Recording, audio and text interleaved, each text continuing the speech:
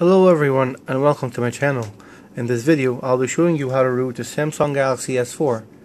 This method has been tried on Samsung Galaxy S4 i9500 and i9505 and the uh, AT&T and Sprint versions. First thing you need to do is you need to turn off your phone. Uh, sorry, turn it off. Power off. Okay. And then right when it finishes,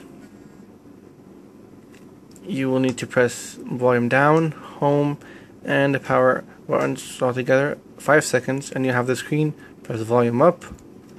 Okay, and you need to connect a micro USB cable from the S4 to your PC. Right, your your final screen like that. Uh, next, you will need to download the uh, CWM recovery for your Galaxy S4 that is called Clockwork Mod. I have all the links in the uh, description. And uh, you need to also download the ODIN and the U Samsung USB drivers and the Super SU zip files. Uh, all the links are in the description.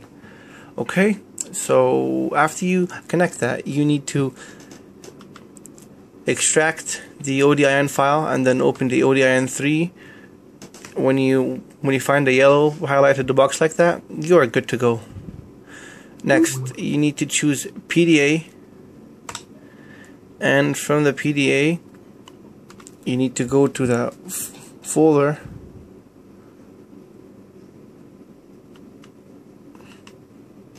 Until you find that file that's called CWM recovery. Okay. That's CWM recovery new. Okay. After that click on it. And you will get that all you need to do is press start and after you get past that means that your phone is now rooted with the CWM method. Please watch the next video to teach you how to put the uh, Super SU on your phone. Thanks everyone for watching. If you need any help with your new Samsung Galaxy S4, I'll be more than glad to help you.